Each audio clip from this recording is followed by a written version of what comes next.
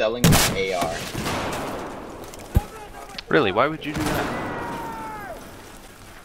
Because Oh, I that's can get crazy. Because Oh, I that's can get it.